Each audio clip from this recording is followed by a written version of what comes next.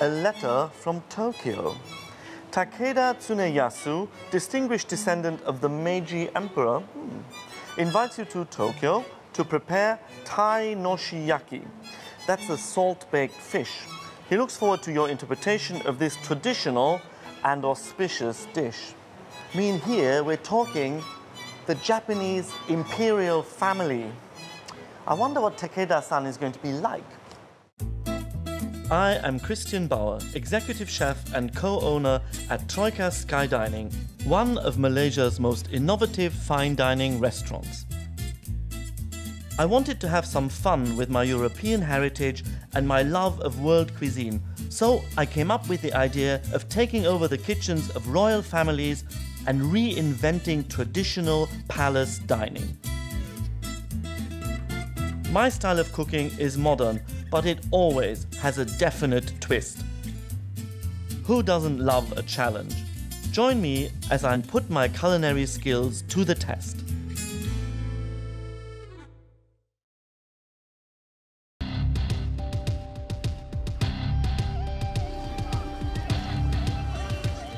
Tokyo, one of the world's great cities.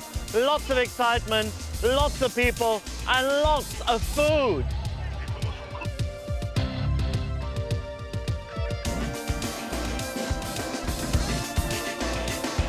Tokyo is not only the capital of Japan, it is also the most populous metropolitan area in the world. It is the seat of the Japanese government and the home of the Japanese imperial family.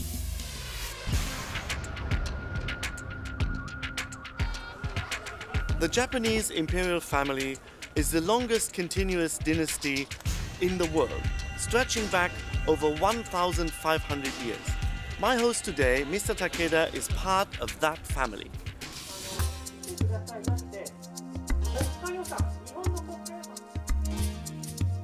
Takeda Tsuneyasu's great-great-grandfather, the Meiji Emperor, ruled from 1867 to 1912 and presided over the rise of modern Japan. Meeting a member of Japan's imperial family seemed a little daunting, so I decided to seek out Dr. Yoshino Toshiaki, an old acquaintance of Mr. Takeda, to see if I can learn a little more about the man I'll be cooking for. Dr. Yoshino, I'm really looking forward to meeting Mr. Takeda.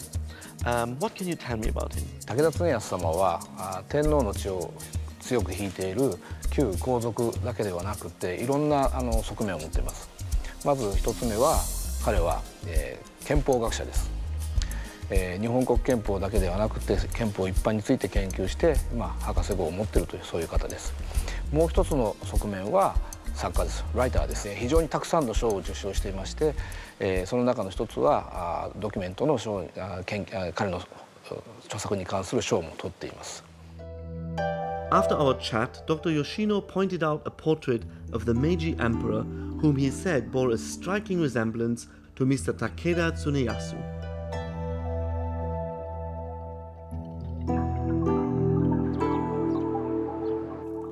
The dish I've been invited to reinvent is Tai no Shioyaki, a highly venerated salt-grilled sea bream that was a staple of the imperial family. Today, Tai is usually reserved for special celebrations such as New Year or weddings. Strolling through the grounds of the Imperial Palace, I took a moment to reflect on the centuries of Japanese culture and cuisine and the challenge that lay ahead of me.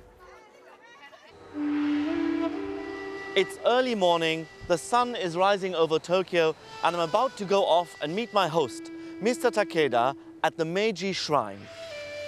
Looks like it's going to be a glorious day. Spanning over 700,000 square meters of forest area, the Meiji Shrine is one of Japan's true imperial landmarks.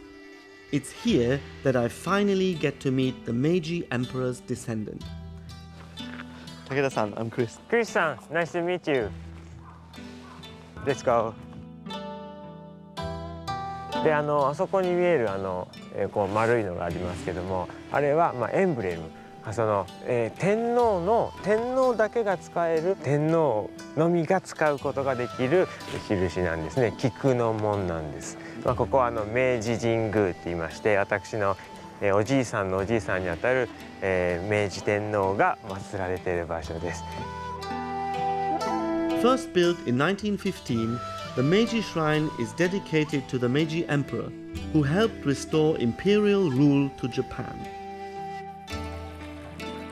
Before entering the shrine, it is customary to perform a small cleansing ritual, as Mr. Takeda shows me. Can you tell me a little bit about the Meiji Emperor? はい、あの明治天皇は、まあ、私たち日本人にとっては、まあ、とてもあの大切な天皇です。あの現在の天皇陛下があの125代なんですけども、あの、まあ、2600年以上、まあ、歴代の天皇がずっと日本の国を治めてきましたで明治天皇はあの3代前の天皇ですからだから前の前の前の天皇でしてちょうど日本がもう小さな弱い国だったところから、まあ、開国をして、まあ、立派な国あの、えーまあ、日本が近代化する上で非常にあの、えー、力を放った天皇なんです。Following our visit to the shrine, Mr. Takeda takes me to the nearby Imperial Treasure House, containing portraits of all the Japanese emperors and other striking artifacts from the Meiji era. Do we know what the Meiji emperor used to eat? はい。あの伝えられているところによりますとあの、まあ、明治天皇は大変質素をあの是としていた方ですのであの大変あのシンプルなあの日本食を中心とされてましたただ明治時代はあの西洋文明が入ってきまして皇居の中でも正式な会では洋食を召し上がるようになりましたのでその和の和食と洋食と両方を召し上がりになったようです。Mr. Takeda is passionate about his imperial lineage and has gained prominence for authoring several books on Japanese royal history. I learn he's also a bit of a celebrity among the Japanese and quite a foodie. To find the freshest Tai, Takeda-san invites me to meet him early in the morning at a very special place. 福士さん、ここが築地です。まあ日本で一番大きいまあ魚の市場ですね。それであの日本の皇室もここの魚を使ってます。ですからあの天皇陛下もこの築地の魚を召し上がってるんですね。The atmosphere is amazing. There is tons to eat. I could really spend the whole day here. Every single thing you could want, you can find. Over there, there are huge pieces of tuna being cut up fresh to go into the restaurants today. It's absolutely amazing. タイは日本人にとって特別な魚なんですよでみんな大好きであのお祝いの時には必ずタイを食べますまあ見てもらうと、まあ、色も赤いですし少し丸いですよねあの縁起がいいあの非常にあの運を持ったラッキーなあの魚だっていうふうに Takeda-san told me the emperor used to eat Tai every single day because it's a symbol of good luck. And to give good luck to his people, he would actually eat it every day of the year. In Tokyo's Tsukiji market, all the fish is so fresh that it can be used for sashimi. So my friend here is going to cut a little bit of the Tai raw and we'll taste it. So this is Tai, the same fish I'm going to cook, but we're going to eat it as a sashimi. How it's important to keep that little bit of the bloodline on the fish. See the red part? When you cook it, that will turn gray. So normally when we want to cook the fish, we'll take that out. But for sashimi, it gives a great color and it's also a slightly different taste from the main part of the meat. So we need it. This time, the treat is all for me.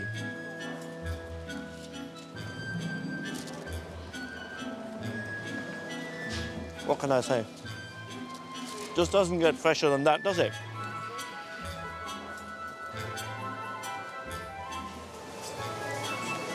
This is whale.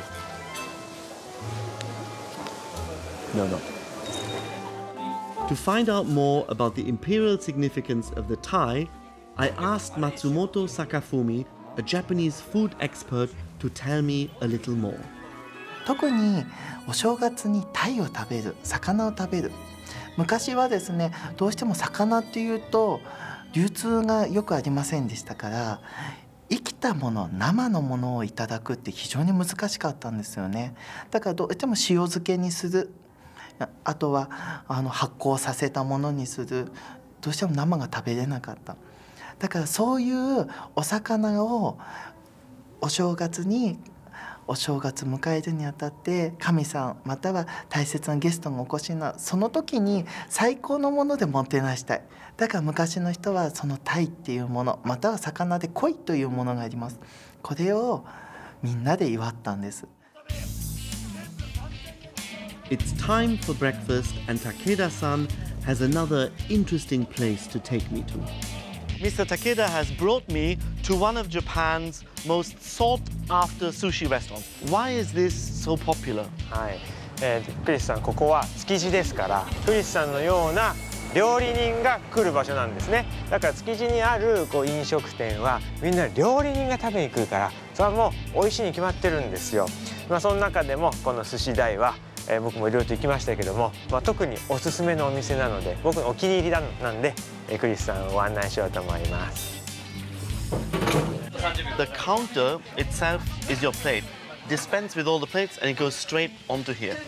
And you, you can use your own chopsticks or your you use your hand. Your hand. So, what should I use? Uh, traditionally, hand. Hand. Okay, I'll do hand then. Good.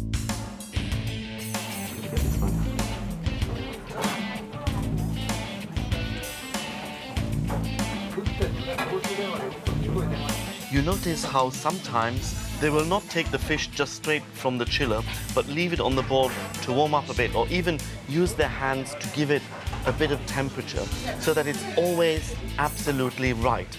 That's what I call perfection.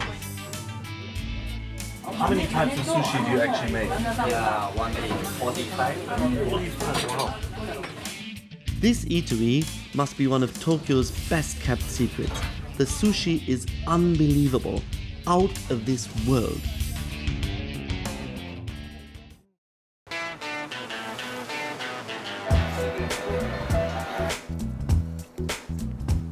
Having enjoyed my intimate meal with Mr. Takeda, I decide to take some time out to visit a quintessentially Japanese food street. I'm in Kappabashi, Tokyo.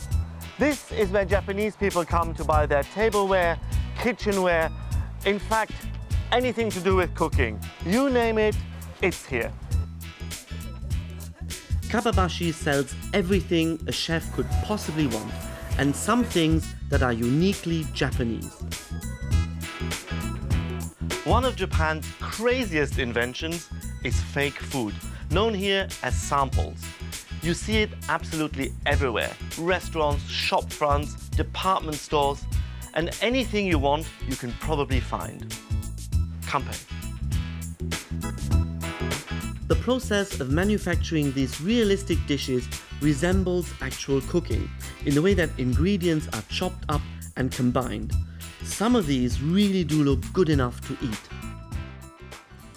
My venue for cooking will be the prestigious Grand Pacific Le Daiba Hotel, located on Odaiba, a man-made island connected by bridge to Tokyo. Here, as part of my initiation into royal cuisine, the hotel chefs have prepared a special Tai creation just for me. What an incredible display. This is where our fish is going to go on. What have you made here?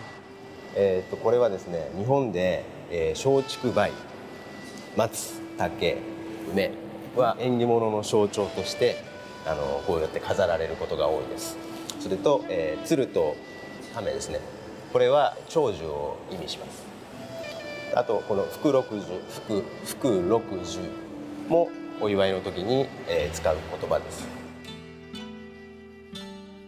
Oh my god! Have you seen that? The guy's gonna really put me to shame. Okay, there's the fish. and our chef here is ready to show me what they normally do with the Tai. えー、まずヒレが焦げないようにすべてにアルミホイルをしてそれから焼き台にかけます。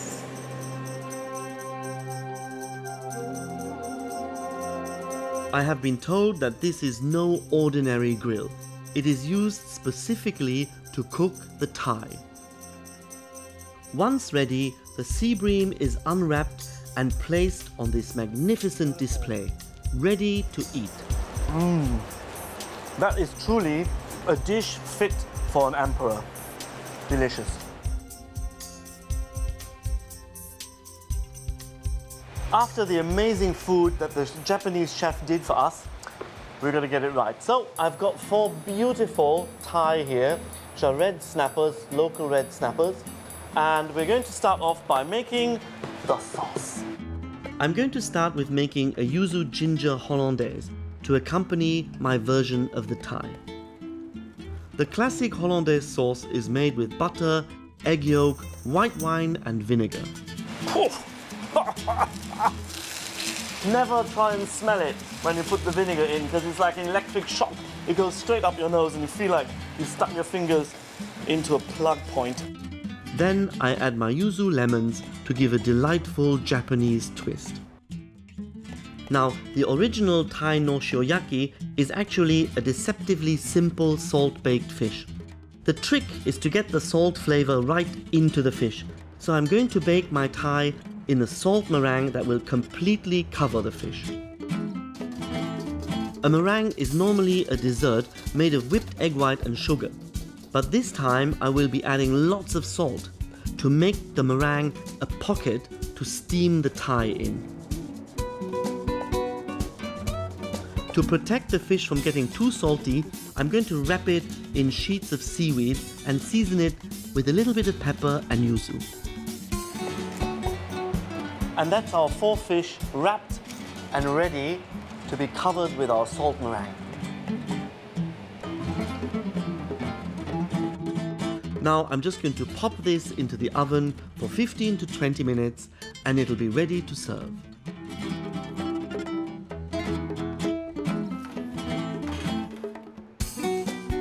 All right, and here is our fish. That will be my salt meringue baked sea bream. A dish aiming for the subtlety of Japanese cuisine, but completely modern in essence. Now, will my radical reinterpretation of this centuries old dish live up to Takeda san's expectations? I can't wait to find out.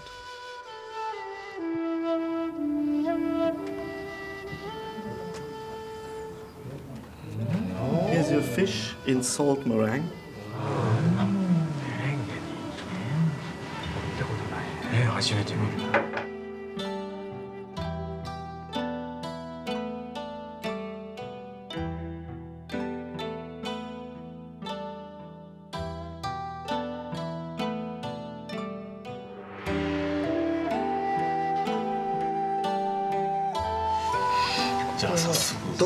ってまずこれでそのものを食べてみますか。食べてみようかな。と僕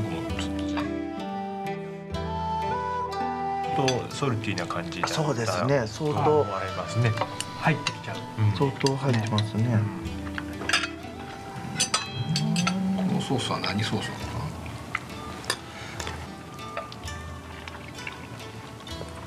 下味もねしっかりしてるし、まあまさに塩釜をアイディアにして、クリスさん風になうん。メレンゲを使ってみたんでしょうね。塩釜効果抜群ですよ。ソースがバランスがいいですね。そうそうそう。かけた方が。そうかけた方が美味しい。ようん。最初のりだけでちょっときついかなと。そうそう。味が強いはい柔らかくなるのね。あれですわソースにほんのりと酸味がありますタイっていうお魚は日本はすごくあのちょあの大事にしてますけど、他のアジアだともうああいう色じゃなくなっちゃいますよね、タイ系の魚、緑色になっちゃって、タイので、初めてタイという魚に触れたわけですよね。さすがですね、原点がやっぱり日本人とタイは切っても切れない間柄ですよね、最後あのメレンゲもなんだりと築地にあるんですか、築地の場内の吉野家の、うん。隣いらっしゃいました Gentlemen, はい。well, the plates are empty. はい、empty。あー美味しかった。美味しかった美味しかったですこれクリスさんは初めてタイを料理したんですか Have you cooked、uh, Thai first? First time. First time? Oh, really? Ah. Look first and cook first. Yes, cook first, cook first.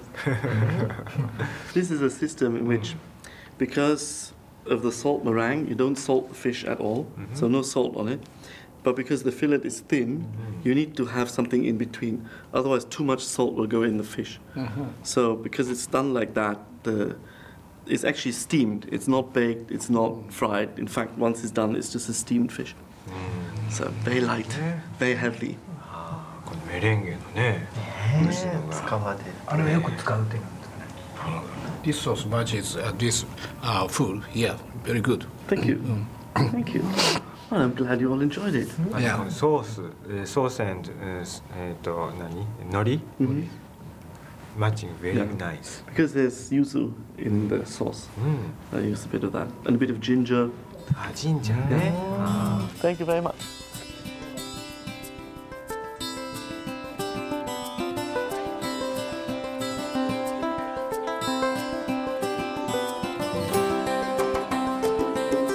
Tokyo is always full of surprises. The food is amazing, the people are so friendly. It is just a superb experience. I hope you'll join me again next time as I continue cooking for the crown.